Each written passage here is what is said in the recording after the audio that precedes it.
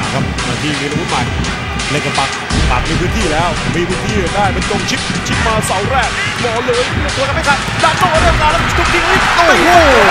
พยายาโต้เสียได้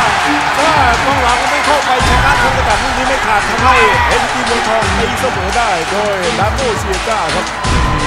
คือตรงนี้เนี่ยยิงแล้วบอลมันแฉลบด้วยนะครับไม่เปลี่ยนทางนะครับเลยางด้านของตัวแนงพยายามจะกลับตัวไปคว้าแล้วก็แต่ว่าไม่ทันหนึ่งประตูต่อหนึ่งแล้วตีเสมอได้เร็วด้วยนะครับเอาละครับประตูที่ห้าในฤดูกาลนี้ครับดานโนจังหวะตรงนี้นะครับติดอยู่ด้านซ้ายนานมากครับแล้วโยนมาเนี่ยโอ้โหตัวแรกขึ้นไม่ถึงครับแล้วบอสกัดทีโอ้โหบอลหนึ่งหลายครับหลายช้อนครับไปชำนาญน่าจะเป็นกรวิทนะครับ